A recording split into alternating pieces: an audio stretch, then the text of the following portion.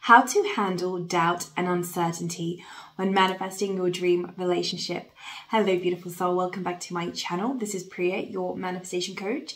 And in this video, I'm going to be sharing with you how to transmute, override, and dissolve the energy of uncertainty or doubt when you are in the process of manifesting your dream relationship. So if you are somebody right now who is feeling very triggered by what you're observing in your 3D reality, then you want to be sure to stick around until the very end of this video because it is truly a game changer. So let's get started. How to handle doubt and uncertainty when you are in the process of manifesting your dream relationship. Now, in order to transmute the energy of doubt and uncertainty, it's first important to understand how we create the energy of doubt and uncertainty to begin with. And this always comes down to one thing and one thing only control. You are trying to control the manifestation of your dream relationship through the 3D. Meaning, every time you're trying to figure out with your analytical mind the who, the what, the where, the when. When you are focused on the how your manifestation will unfold, this is you trying to control your manifestation through the 3D. And here's the thing about that the analytical mind freaks out when it doesn't have answers to its own question. Your analytical mind doesn't know how it's going to happen, the where, the when, the what. So then it begins to stress, to freak out, to worry, to live in the energy of fear. And then this creates that energy of doubt and uncertainty. This gets a lot of people into the state of, will it ever happen for me? What am I doing wrong? Am I doing something wrong? Will I manifest my dream partner. Maybe it's just not meant to be. Maybe it will never happen for me. We begin to doubt the process because we're in the energy of doubt and uncertainty, because we are stuck in our analytical mind trying to figure it out, trying to manage it, trying to control it, trying to make it happen. Whenever you are trying to figure it out, whenever you're trying to manage the manifestation of your dream relationship, it will always lead to one thing and one thing only the energy of doubt and the energy of uncertainty. Your body will go into survival mode. You will begin to live from the energy of fear and anxiety. So, the key to letting go of doubt and uncertainty is about understanding that this is created through trying to control your manifestation in the 3D. Once you understand this, then the opposite is also true. When you let go of trying to control the manifestation of your dream relationship through the 3D, because you have completely let go of the how, you're not trying to figure it out, you're not trying to manage it, you're not thinking about the who, the when, or the what, this is when the energy of doubt and uncertainty will dissolve. So it's really about withdrawing your attention from the how. Stop trying to control it through the 3D. So the real question is, are you willing to let go of control?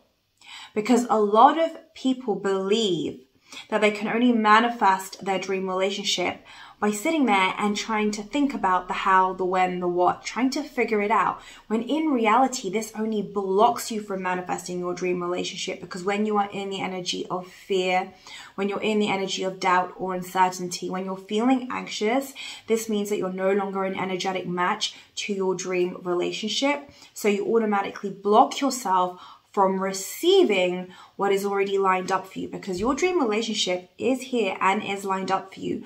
The question is, are you a vibrational match to your dream relationship and are you upholding the frequency of your dream relationship? Now, another thing to become aware of is that your analytical mind was never designed to figure out the how the manifestation of your dream relationship will unfold.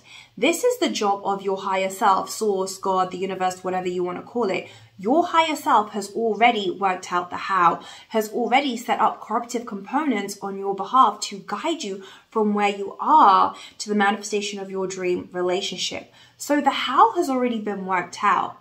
Your only job is to let go of trying to figure out the how, to let go of that energy of control. And to go deeper into this, you can never really control the manifestation of your dream relationship through the 3D. It doesn't matter how much action you take, what you say, what you don't say, what you do, or what you don't do. If you're not an energetic match to your dream relationship, you are not going to manifest it, period. What will happen if you try to control it through the 3D by taking action from misaligned energy is that this will only lead to exhaustion, depletion, and it will make you feel like nothing is happening for you, nothing is going right for you. You will really struggle. You'll be in that energy of struggling because this is what happens when you're taking action, or even better said, when you're taking massive action to compensate for misaligned energy.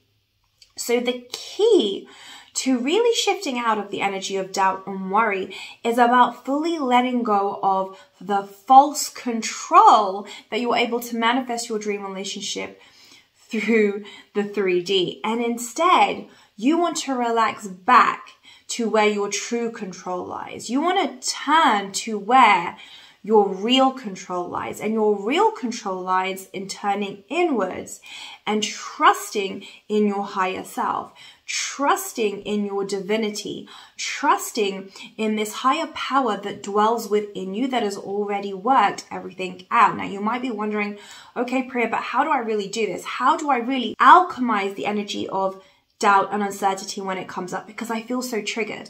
In order to understand this on a deep level, I'm going to talk you through an example. Let's say that right now you're somebody who has done the work. You have become a vibrational match to your dream relationship. But now you start to look for evidence. You're like, why isn't it here yet? You begin to think to yourself, hmm, has something gone wrong? And then this leads to doubt and worry. So now you're in the energy of doubt and uncertainty you're not really staying faithful to the outcome. You're beginning to think that it's not going to happen for you. In this moment, your only job is to get out of your analytical mind. Because when you stay stuck in your analytical mind, this is only going to amplify exponentially the energy of doubt and uncertainty. Because remember, if your analytical mind doesn't know the answer to questions that you're asking, it is going to freak out. This is going to put your body in survival mode, which is only going to amplify that energy of doubt and uncertainty. So, your only job in that moment is to get out of your analytical mind. And the only way that you can do this is by really turning inwards and choosing faith.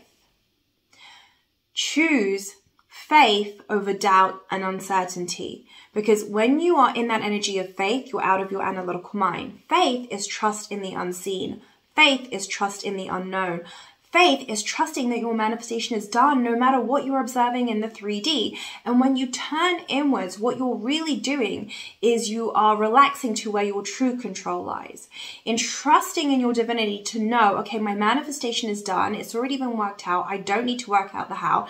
This automatically puts you out of your analytical mind because you're not trying to figure it out. You're not trying to manage it. You're not trying to make it happen. Instead, you're turning inwards you're in your heart and you are fully trusting in your divinity, in the divine, and in your higher self.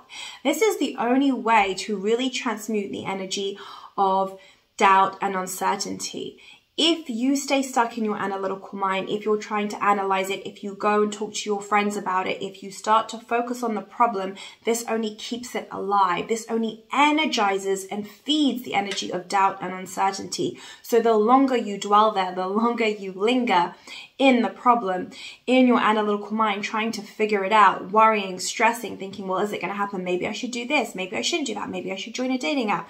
Maybe I should be less like this or more like this. You're constantly analyzing because you're in the energy of trying to make it happen. This will only amplify the energy of doubt and uncertainty. So the key is to turn inwards and choose faith. Get out of your analytical mind, turn inwards, get into your heart and choose faith trust in your divinity.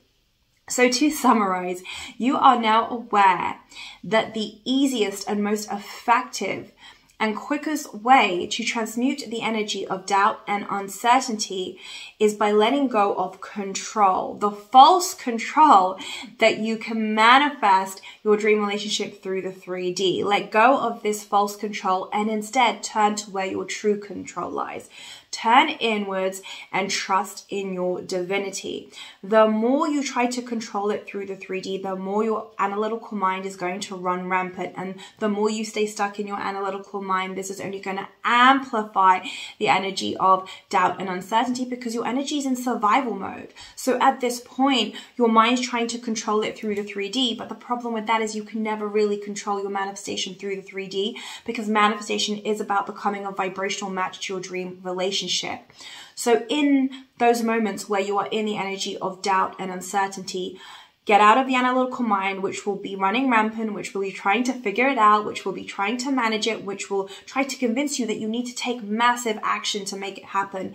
And instead, you want to become very conscious of this. You want to see the bigger picture, see it for what it really is, and then choose to turn inwards and trust. Trust in your divinity. Have faith that your manifestation is done. Choose faith over doubt and uncertainty.